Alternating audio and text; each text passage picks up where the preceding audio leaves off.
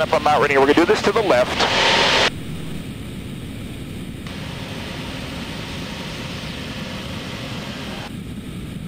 Power smoothly coming back. Okay. Coming through 80 knots. Just holding altitude right now, letting the airplane decelerate.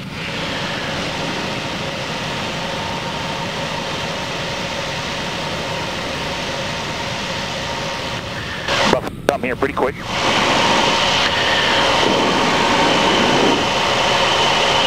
Here it is. Stick all the way back, full left rudder. Half a turn. One Rainier. Now it'll speed up just a little bit. There's two Rainiers. Now we're going to recover.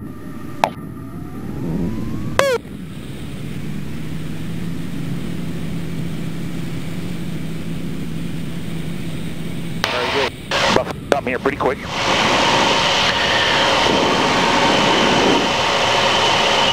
Here it is. Stick all the way back, full left rudder. Half a turn. One Rainier.